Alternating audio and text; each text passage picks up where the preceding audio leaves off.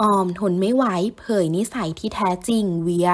เป็นนักแสดงมากความสามารถที่ไม่มีใครไม่รู้จักเธอคนนี้ออมสุชามานะยิ่ง หากใครได้ติดตามผลงานของเธอ จะทราบดีว่าสาวออมนั้นมีผลงานโดดเด่นมากมาย และร่วมงานกับซุปตาดังแนวหน้าเมืองไทยมาหลายคน หนึ่งในนั้นคือเวียสุกลวัฒน์คณารถ เธอได้ไลฟ์สดเมาส์มอยกับแฟนคลับ ผ่านอินสตาแกรมที่มีบางช่วงบางตอน ได้ตอบแฟนคลับ จากถูกขอรีวิว เวียสุกลวัฒน์คณารถ โดยเธอเผยว่าตอนแรกก็ไปออดิชั่นไม่รู้ว่าพระเอกคือใคร พอรู้ว่าได้รับ ก็มารู้ว่าเล่นกับพี่เวีย ก็ทำตกใจ รู้สึกว่าพี่เวียรู้สึกห่างไกลที่เราจะได้เล่นกับเขา ดีใจมาก แต่อีกด้านคือเป็นคนแบบนี้เหรอ เขามาเบอร์นี้เลยเหรออะไรแบบนี้ ก็คือชอบแกล้งอ้อม ชอบขิงอ้อมมาก เช่น อ้อมอ้อมเขาชมพี่ว่าว่าเก่งมาก เขาชมแกบ้างหรือเปล่าอะไรแบบนี้ เราก็รู้สึกว่า เฮ้ยเจ็บอะ หรือพี่เวียพูดว่า